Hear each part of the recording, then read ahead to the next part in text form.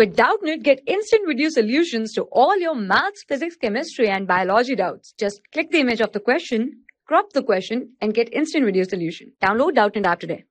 Hello students, our question is green glands are and the options are respiratory organs in insects, excretory organ in insects, respiratory organs in crustaceans, excretory organs in crustaceans. So the correct option here is excretory organs in crustaceans as green gland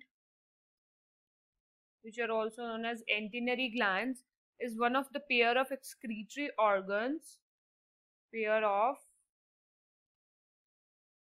excretory organs located in each side of the head region. Each side of the head region of crustaceans of crustaceans emptying at the base of the antenna emptying at the base of antenna.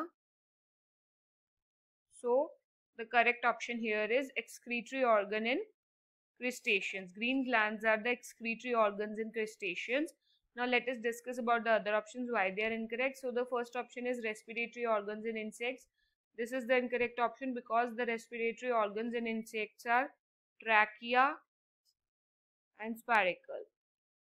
So this option is incorrect. And the excretory organ in insect is Malpighian tubules. So this option is also incorrect.